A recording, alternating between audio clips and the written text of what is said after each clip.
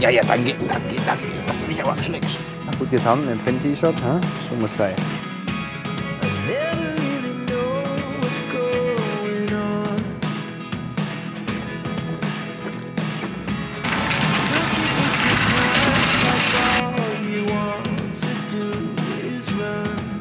Gut, Zwilling kommen eh immer Tickbälle normal. Wird mal richtig Zeit zum Wäsche.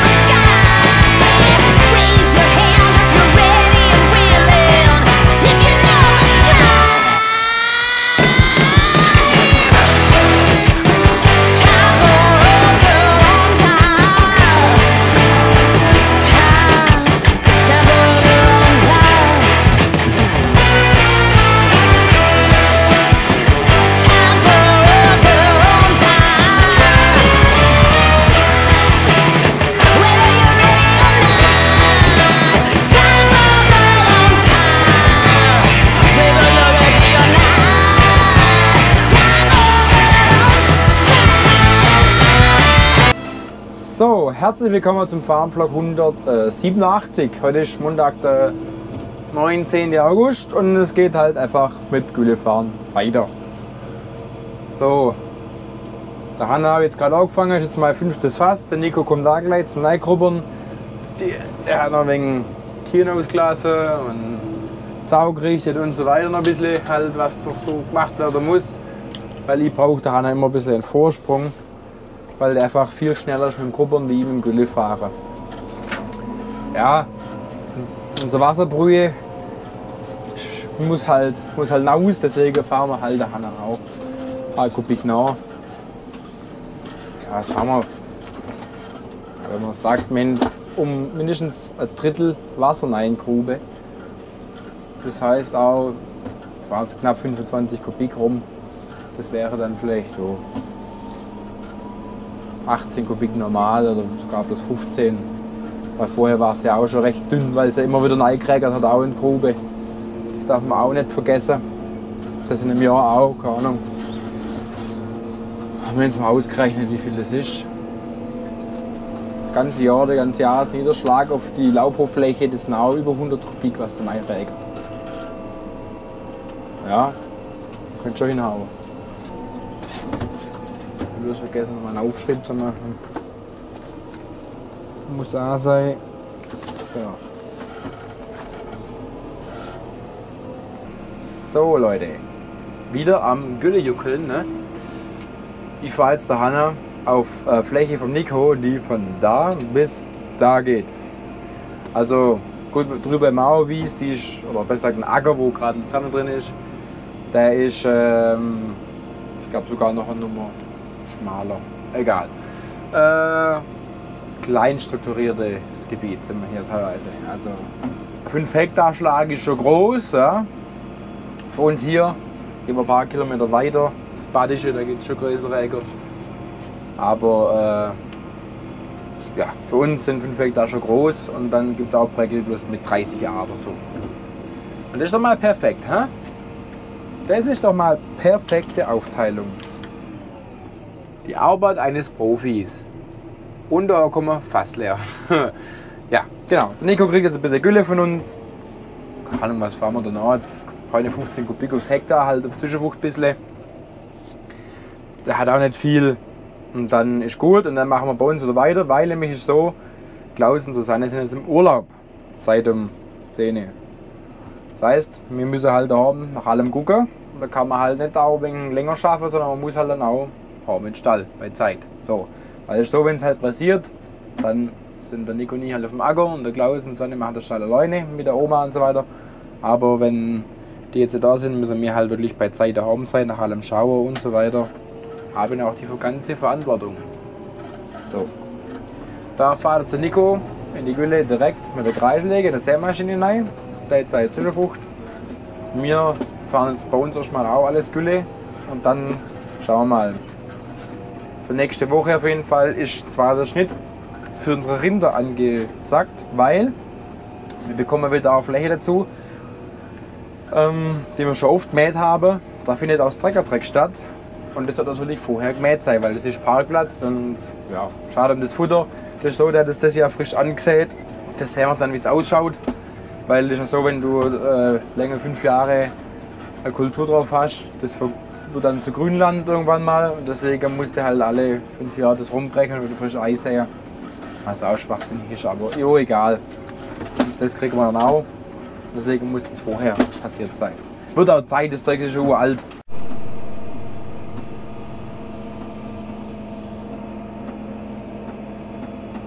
Da fahrt der Nico. Hier schön der Wengertsbuckel. Kranke Rübe. Ja. Das war das kleine Streifle, was wir vorhin gesehen haben. Äh, vorhin Gülle gefahren haben. Nico hat es, glaube mittlerweile schon gesät, sonst würde er nicht hier fahren. Kriegt er da noch ein Fässle. Ja, ich denke, der kommt schon gut hinterher. Und der kann schon auch recht zügig fahren. Ist ein bisschen weiter her zum Fahren. Wie jetzt direkt unter Hof. Wird schon.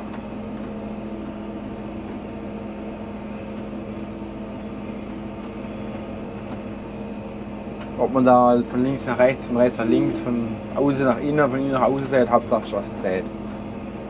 Da mit seinem 311er. Den haben wir ja schon gesehen. Beim dritten Schnitt ölend machen.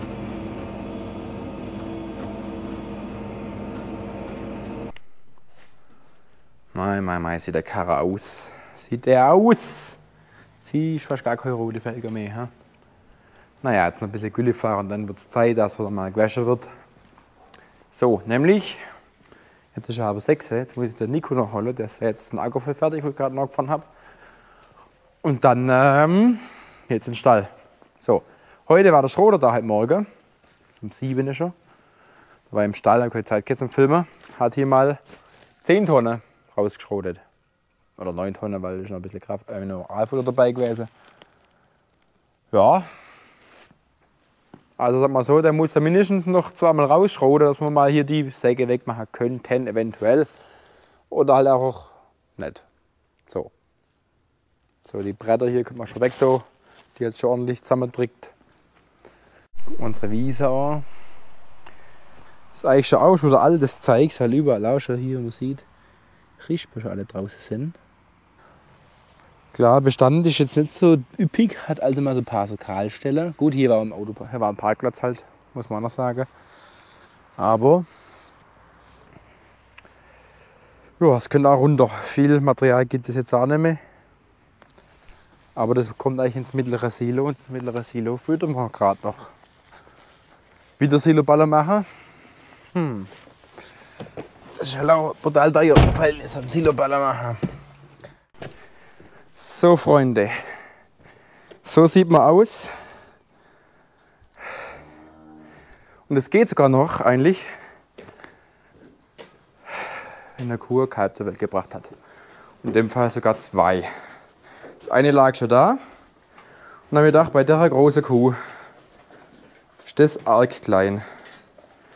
Dann habe ich reingelangt, habe sofort gesehen, uh, da ist noch was, schnell umgezogen es noch rausgezogen, habe noch leider ein bisschen zu spät geschaltet. Das ist mir jetzt gerade ein bisschen ärgerlich eigentlich. Hätte bloß Kamera mitgenommen. Weil es war so, normalerweise kommen die immer so auf die Welt. Also beide Beine voraus und der Kopf dazwischen drin, wie es wenn man so einen Kopfsprung macht ins Wasser. Und ich habe nur einen Kopf gespürt. Also muss man dann ein bisschen Ausschlag, neilange, Beinchen hoch holen. Zum Glück kam es vorwärts. Wenn es am Rücken kommt oder rückwärts ist immer schwierig, dann brauchen wir gleich die Geburtshelfer. So habe ich jetzt einfach von Hand unterstützt oder mitgezogen. Sie war halt ein bisschen aufgeregt, weil das Kälble ich ihr dann nachgelegt habe, weil das ist noch davor geroppt. Dann habe ich sie nachgelegt, dann ist sie aufgestanden, hat es geschleckt, dann musste es halt stehen rausziehen. War auch kein Problem. Wenn es liegt, geht es einfach. Aber in dem Fall war es sogar gut, dass sie gestanden ist halt. Weil das so, das Becken ist ja abfallend.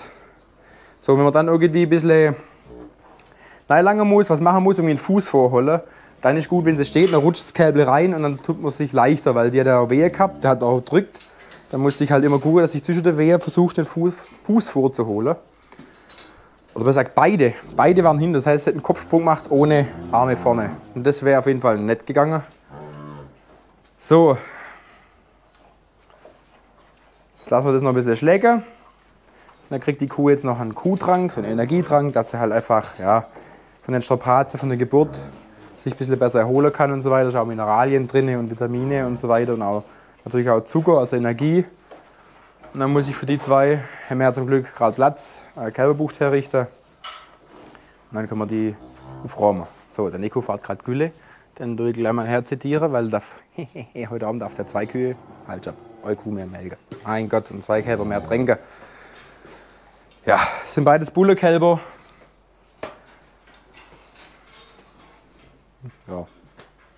Als Wirtschafter würde man sagen, hat jetzt kein Geld mitgemacht. weil die kleinen Dinger bringen nicht viel, weil sie nicht viel wiegen.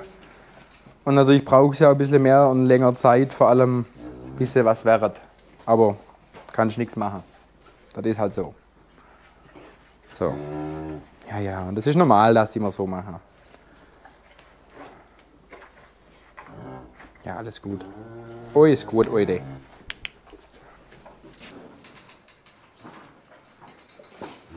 Ja, das versucht auch gleich noch zu stehen. Oh, Viecher. Mann.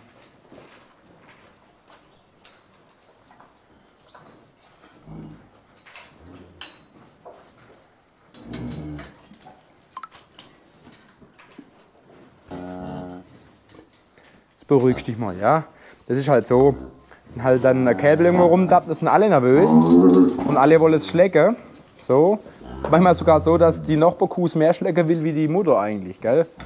Das ist halt hier ein bisschen, der Gummimatte ist halt ein bisschen rutschig. Wäre das jetzt ein Erdboden mit griffigerem Untergrund, hätte die jetzt vielleicht, der hätte beide vielleicht schon stehen. Mensch, du machst Sachen. Bleib mal liegen.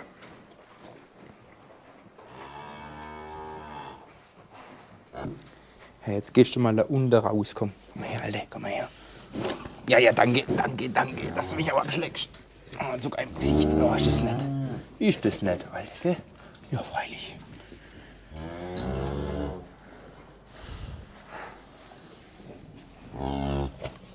Jetzt komm, geh mal um. Geh da mal um und bleib da mal drüber. Komm, machen wir die gar noch ein Schnecke.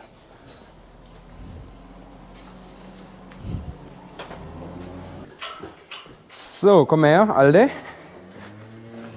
Ah du kennst das schon. Du kennst das. So, das ist jetzt leicht angewärmt. Da, geh weg. Das, ähm, das bei uns ja auch so. Man soll im Sommer eigentlich nichts Kaltes trinken, sondern eher Warmes. Geh fort. Hä? Wieder Hanna. Zweimal Bullock halb.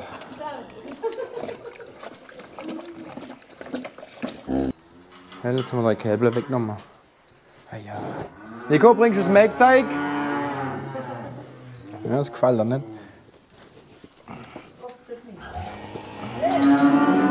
Wenn ein wenig Ziege ist, ist es ein wenig. Hörst mal, äh, zieht so Versiegler raus. Gut, Zwilling kann man eh mal tick normal. Ja, aber es ist für die eure Gesundheit doch um einiges besser, wenn man es neu macht.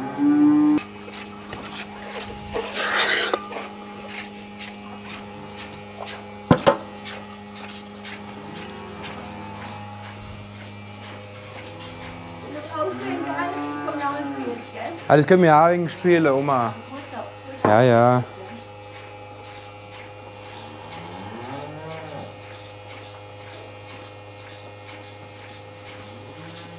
Siehst du, da haben wir eine Milchkante. Hätten wir jetzt vielleicht vier. Ha, wenn es sauft, ist gut. Muss ja auch rechts gelble wäre dann, weißt du?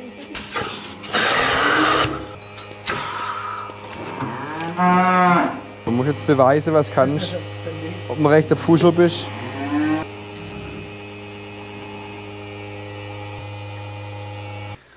Die Bischmilch ist um einiges fetter, bebt und ist auch ja, energiereicher, bebt um einiges besser noch ins Melkzeug rein. Und deswegen ist es umso wichtiger, dass man es auch gleich sauber macht. Und dann ist noch dieser Zitzeversiegler dabei. Dieser Zitzeversiegler macht eigentlich das, was er schon sagt. Er macht unter in die Zitze, wenn man die Kuh trocken stellt, einfach einen Pfropfen rein, dass da keine Keime rein können. Problem ist halt, das Zeug ist halt richtig zäh im Beppich, muss ja irgendwie im Euter heben. Und äh, dann kriegt man das halt auch nicht so gut raus. Und wenn das dann ins Melkzeug reinhockt, hast du halt gleich den Malheur. So, jetzt werden wir es bloß mal schön grob durchschwenken.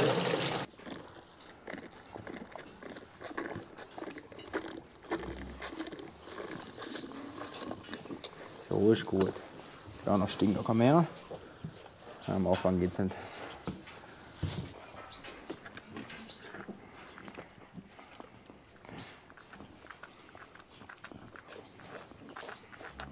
Die zwei haben jetzt schön gesoffen. Du willst wieder nachstehen, das sehe ich schon. Das ist ein Tick fitter wie das. Das ist ja das, was ich rausziehen musste. Wenn man es hören kann, das hat ein bisschen Wasser in der Lunge. Das kommt als vor nach der Geburt, also ein bisschen Fruchtwasser schlucken. Das hat aber trotzdem seine gute zwei Liter gesoffen. Gell? Kleiner Stinker. Aber man hört es halt leicht röcheln. Aber eigentlich sind sie relativ fit beide. Das hat da die Flasche leer gezogen. Wie ein großer. Gell? Jetzt lassen wir euch mal in Ruhe. Und ihr zwei kriegt das alte.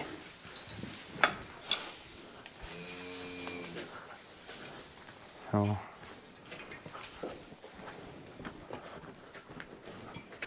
Ist halt so, Ahoi ist halt schmackhafter. Zumindest was Besonderes. Und dann fressen sie halt auch mal gern was davon. Und schade nie. Weil wenn sie, oft ist so, wenn sie nicht mehr arg fressen wollen, wenn sie auch mal krank sind, kann ja auch mal vorkommen. Und dann kriegen sie Heu und dann fressen sie wenigstens von dem ein bisschen was. Ein hoher Strukturenteil. Wenn sie zu wenig fressen, können sie auch wenig wiederkauen. Und Wiederkauen ist sehr wichtig für die Kühe. Und dann, wenn sie ein bisschen Heu festbauen, haben sie Struktur, damit sie wieder wiederkauen können. Ja, kriegst du auch was. Na, ist gut. Gell, Alte? Hast du ein Bergvollmaterial?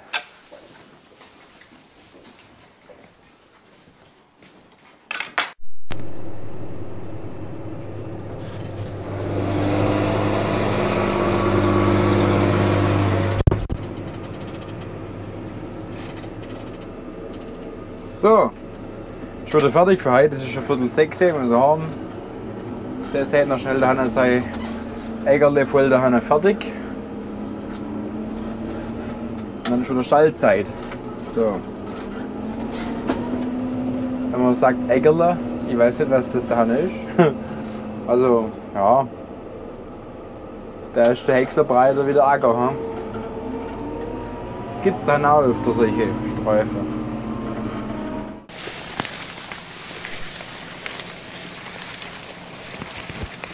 So, so das ist der Kopf, ha? gut getan mit dem Fan-T-Shirt, so muss sein.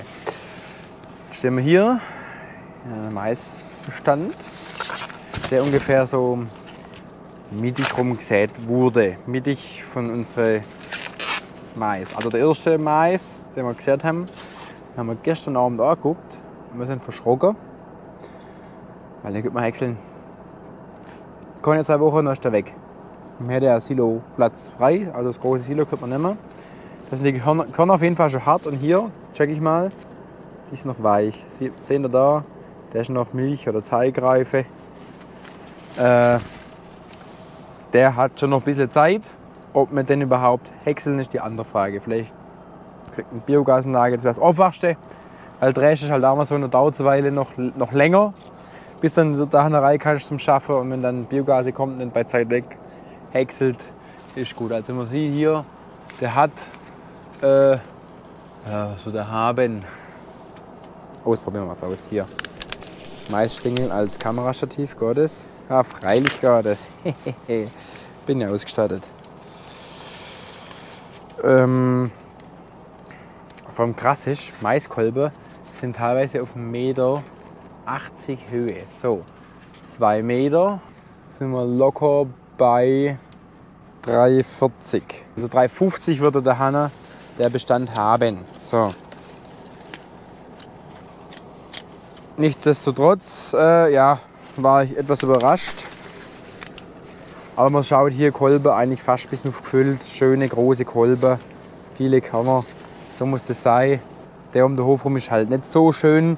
Mir wäre es fast lieber, um der um den Hof rum den Mais lassen und erst auswärtige holen, weil der hat schönere Kolbe und auch mehr Material.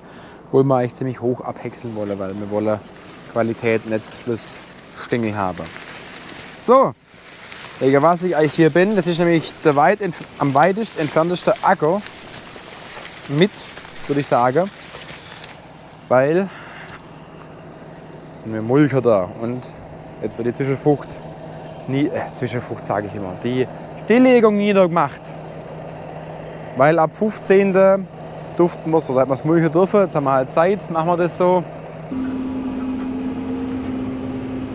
So sieht es jetzt aus. Steigen wir gleich mal ab und gucken mal, wie gut die Mulchqualität ist. Da wächst halt auch neben dem gesäten roten Weißlee halt auch ein Haufen anderen Lumpengerust, auch Disteln, die halt jetzt wunderbar ausgesamt haben oder am Aussamen sind. Also da tust du so viel Müll vermehren mit so einer Stilllegung. Also ja, ich bin da, jo, wenn man es, gibt bei manchen Flächen Sinn oder manche Ecke, wo man stilllegt und sagt, schlechter Boden, schattig, weiß der Geier was, Acker unförmig, dann tut man halt irgendeine Spitze irgendwie stilllegen.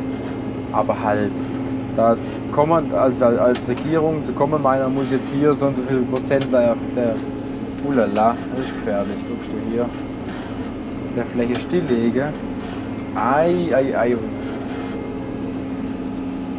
Also ich darf der Mulch nicht komplett ablassen, dann passiert sowas.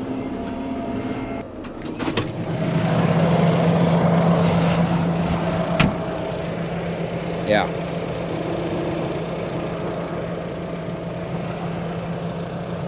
Also auf jeden Fall ordentliche Matratze da. Muss man schauen, dass man den Kuba nicht irgendwie zufahrt mit dem Zeugs. Paar Stupfe stehen noch. Ich habe ihn auch nicht allzu tief eingestellt. Jetzt hier habe ich ihn auch nicht ganz, ganz unterkett, sondern so halb hoch. Ja, aber das langt trotzdem. Alles, alles Samen, Scheiß.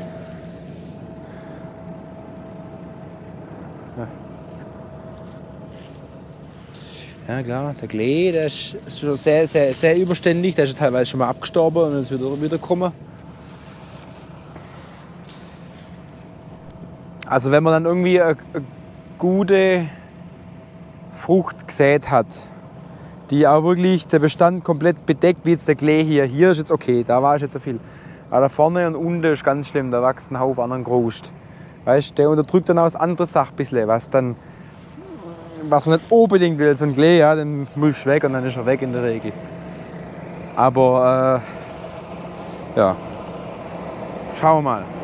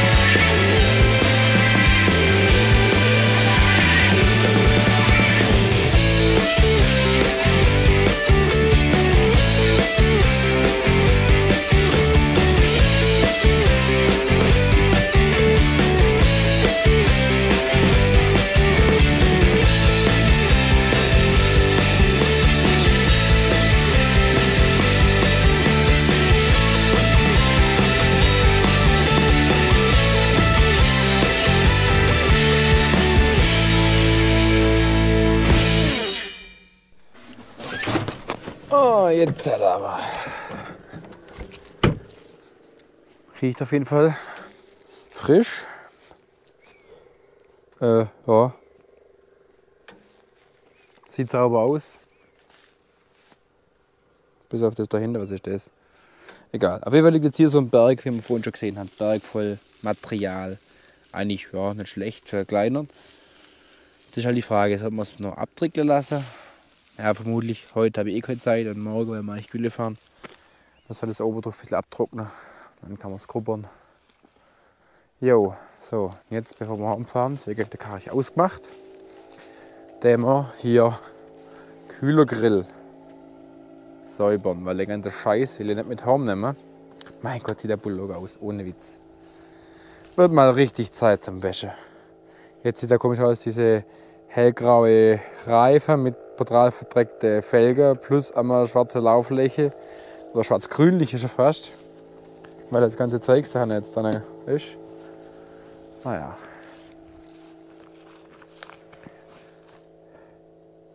Ja, Mulcher, nicht schlecht.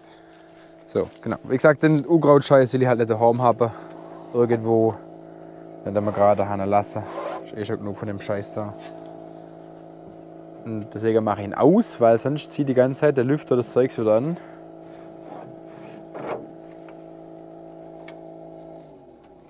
Ja. Der Fahrtwind macht es auch noch ein bisschen weg, aber dann hält die Lüfter bloß wieder fest. Deswegen schön weg mit. Weil nämlich, jetzt geht es nämlich in der Viehweide weiter. Sehen wir gleich. Jetzt muss ich heimfahren. Und dann zeige ich euch, was wir da machen müssen. Da geht's steil her. So, jetzt sind wir in der Viehweide. Hinter dem großen Teil, das ich mal gemäht habe vor einer Weile. Da sieht man noch überall die ganze, vor allem hier unten war halt viel Material gewesen, oben war teilweise abgefressen, war dünner. Da sieht man halt schon noch ordentlich das Zeugs, was sie noch gammeln. Ja, das Gras wächst zwischendurch. Heißt, äh, wenn ich im Frühjahr das mal striegel, dann kommt da wieder ein Haufen Filz raus. Sag ich zum Spaß, da hat er gerade mal zwei Spuren gemulcht. Im Prinzip ist halt das ganze Scheiße da hochgekommen. Ja. Ähm, ja, das lasse ich jetzt einfach mal. Da können die Kühe da schön fressen und sortieren, weil das, was da gerade wächst, ist eigentlich ein schönes Futter. Eigentlich bin ich ja da, weil der Bereich hinter mir, jetzt sehen Sie gleich, der arg steil ist. Da bin ich im Mehrwerk nicht gefahren, weil da musst du immer nur bergauf und drüber, oder vorwärts nur fahren und rückwärts runter, sonst schmeißt der Karre um. So. Jetzt schaue ich da an, halt da hinten nochmal irgendwie das Brennnesselfeld noch weg, wenn ich schon da bin. Ja, sieht schon wild aus da hinten, gell? So, schon viel Material da. Aber sie sieht sauber aus. Das da oben ist auch Baustelle, das ist auch ein Taggeschäft. Bis wir den Lumbergrust weg haben, dann müssen wir wahrscheinlich das, das Draht und die Pfosten wegmachen, dass wir dem Zeug Herr werden. Wir da nochmal nachlassen, der Mulcher. Mal ein bisschen ja, Material mulchen. Es dauert halt jetzt der Winter, bis das voll verreckt alles. Aber auf jeden Fall, Kühe das nicht fressen, so können sie wenigstens ein bisschen Jungsgras abnagen. Ja. Abfahren wäre vielleicht dann doch die bessere Variante gewesen. Wäre halt auch wieder auf ein Geschäft gewesen, aber ja, wenn sie es nicht fressen, dann muss halt weg das Zeug. Naja, egal. Weiter im Geschäft. So, jetzt halt. fahren wir mal rein in das Tal. Da kann ich bis dann auch über einen ziemlich steilen, unwegsamen Weg fahren.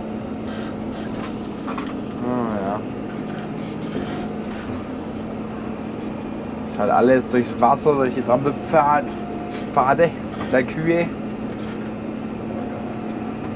Alles ein bisschen ja, unwegsam. Auf jeden Fall, ja, weil schlechte Bedingungen ist hier Neifahren nicht so geschickt. Und ich habe denke ich nehme den 400er zum Mulch, aber der hat auf jeden Fall viel zu schlechtes Profil. Deswegen nehme ich jetzt halt alle 5er. Mühle fährst du schnell abkennt Kruscht weg. Meine Sicht ist halt jetzt hier eher suboptimal. Durch noch ein bisschen solche Scheibe gegen Sonne. Wäre halt dann doch ein bewölkter Tag etwas besser für das Geschäft. So, also geradeaus, Bugeluf ist gar kein Problem. Wir können mal ein bisschen aussteigen, mal zu gucken, wie, wie steil das würde ich dann aufbauen.